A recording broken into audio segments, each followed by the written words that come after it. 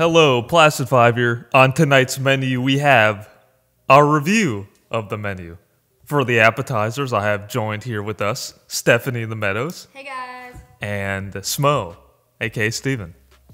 So the menu is directed by Mark Mylod, if I said that correctly. His last name does sound like a dessert. It features the great Ralph Fiennes, Anya Taylor Joy, Nick Hoult, John Leguizamo, and a bunch of other people. The story follows a couple, um, so what appears to be a couple, right? Because it is a little ambiguous throughout the movie. And they go to this deserted island where there's an esteemed chef played by Ralph Fiennes.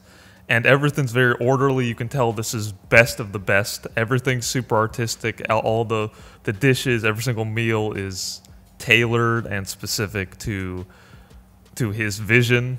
It's he's kind of like an artiste in a way, right? And as the night goes on, you start to learn more about all the guests, and every single dish starts to represent something. And it's very it's a mystery slash comedy. There's a lot of funny moments, but there's a lot of mystery moments as well. Uh, I think the movie did a great job at en- encompassing both of those things.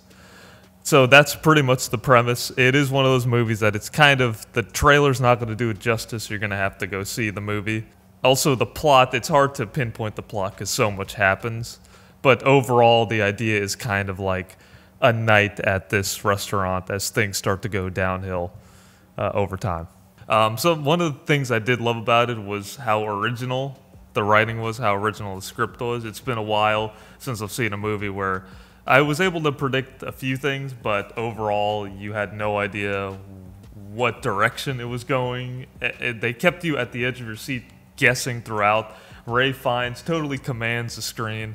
Um, just like all the chefs respect him, the audience also kind of has to respect his acting. He totally dominates the scene, and you don't know what his next move is. He's absolutely just mysterious in his own way, and they do a great job at not just blurting out everything that's happening. They kind of lead into that, you know, in their own way. And even with the main character, like the relationship that Nick Hoult and Anya Taylor Joy, the movie begins. They don't just flat out say where they're at. You kind of have to put it together. They don't just like give it to you. And I like that the movie lets you kind of piece it together. And the, the good movies, I think, are able to do that. They don't just have people kind of telling exactly what happens. Yeah, it's not your typical thriller movie. It keeps you on your toes. It's kind of a guessing game. You're basically playing the game as they're playing the game, and it wasn't as predictable. And Ralph Fiennes definitely commands the screen. You kind of love to hate him, in a way. Yeah. Um, I don't. charming. Yeah, charming in charming. A way, in a way yeah. Um, of course, everybody knows Ralph Fiennes from Harry Potter. He was Voldemort. Don't say his name. Yeah. yeah. He who shall not be named. Um, Big Harry Potter fan. yes, I love Harry Potter. Um, but no, I really do think that he commanded the screen. It's a very different role for him. I think he's been villainous, but in this movie, um, all the characters definitely complimented him. Um, you don't really know any of the actors who are like his sous chefs, I guess you would call them. Yeah. You don't really know any of them, but they definitely commanded the screen as well. Yeah. Um, it's reminded me of like a military. Yeah, style. very Everybody's- military style. Everybody's kind of like he's in command, and you know. I think him and Anya Taylor Joy definitely had really good chemistry Yes. Yes, they did. on camera. Yeah, one of the biggest things that I really liked was uh, the how they slowly revealed the information. They they're not super upfront about it, and as the movie goes on, you get more and more detail on each of the people, each of the tables, and you get kind of get a feel for their personalities, and you start to understand why they all have been invited to this place.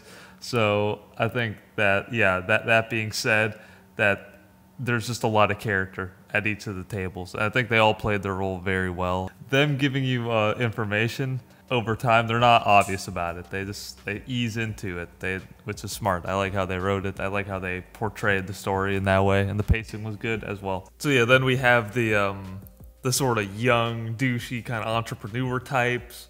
We've got the the unfaithful um, sort of couple in there as well. It's just every like kind of archetype. Alcoholic mother. Yeah, alcoholic mother. It's just we had this. They all had their own characters and archetypes, so they did such a good job with that. Yeah, they all have their own conflicts, just like from the name of the movie, you would think it was just like a, a movie about like a restaurant, but like you don't know what goes on in the restaurant kind yeah, of thing. Like food based. Food based. It's very mysterious, but everybody is on the menu per se. They all have different characteristics about them. They're all very have different personalities and they all have their own co- inner conflict Different flavors. different flavors, yes.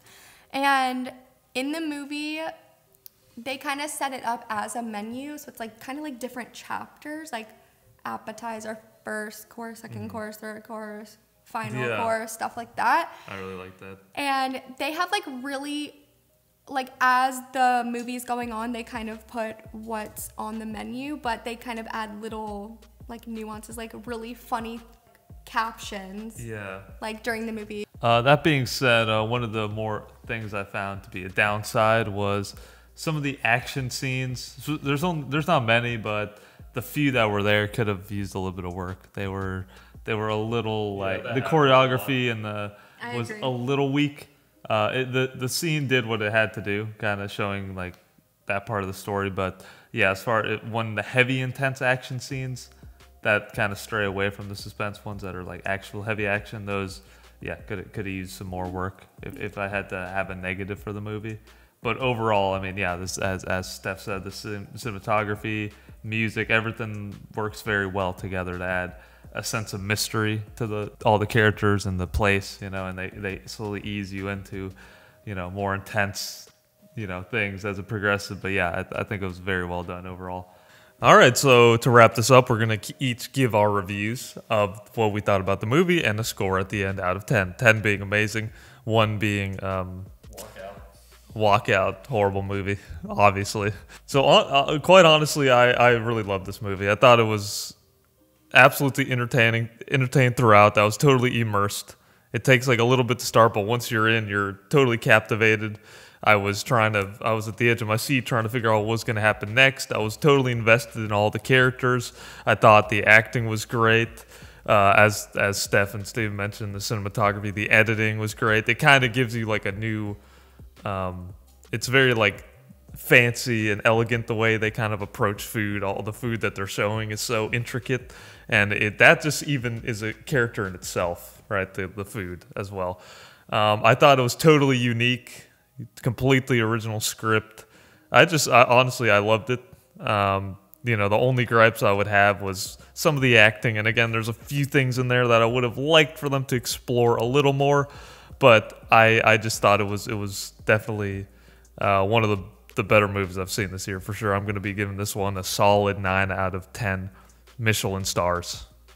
I do agree with some of the stuff Brian said. I really, really, really liked how they featured all the food. I will tell you, it makes you hungry. And as somebody who's a foodie, I really appreciated the fact that they showcased all the food. They kind of actually like said what on the screen like what the basically the recipes were not recipes but like the That's the ingredients and the elements that went into the food and the different names and you kind of learn a lot of like terminology there's a lot of movies that i feel like are not as original as this one i I don't know. I just really like unique and different movies, and I think this one you are very immersed in it. You don't feel bored at all. Um, I would probably rate this movie. I kind of changed my mind actually. Um, I think I'm gonna give this movie a nine as well. I was gonna give it eight point five, but now thinking back on it, I probably would see it again. So yeah. Uh, yeah, I absolutely agree with both of these two. Uh, there's very little that I could find truly wrong with it. I think that it did a lot good.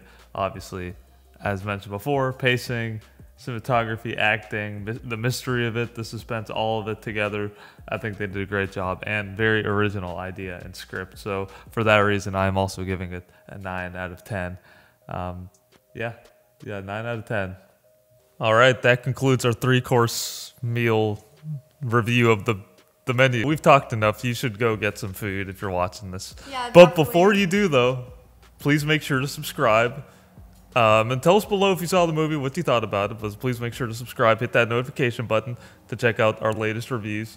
Not all of them will be food related, I'm sorry. But Thanks for having me again, guys. yes, but thank you to Steph Meta, Stephanie in the Meadows for being here.